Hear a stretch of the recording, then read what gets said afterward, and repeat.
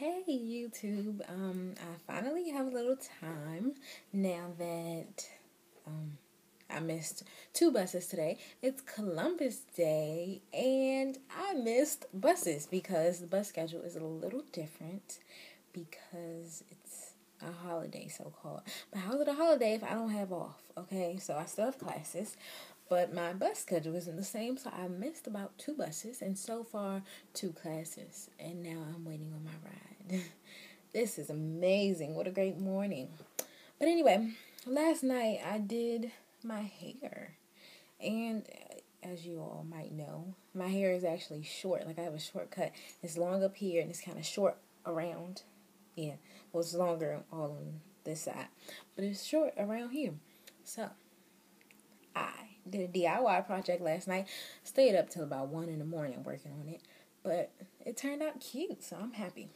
Um, I did a U part wig, and um, how I did it, I will never show a soul until I get good because last night it was looking, it was just looking, and I would not want to show that to anyone right now.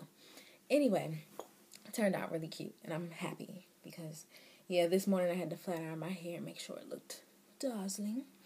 It turned out pretty cute. I'm excited to wear it to school for everyone to see.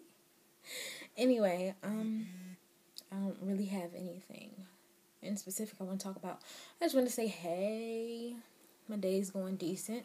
Get on that watch I love. Got it from Charming Charlie. Girl power. Um, yeah, the store is dope.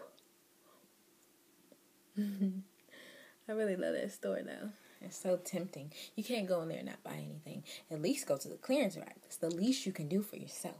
Get something for three dollars and you will leave feeling amazing. So anyway, let me find something real to talk about. Um yeah, life is life is going good. Oh, just put my um my new my new boo up on the wall. Well, not my new boo. We've been we've been at it since you know three years ago. I'm I'm not being delusional. I know he's not my boo, but I'm a proud fan of Wale, baby, DMV, baby. Okay.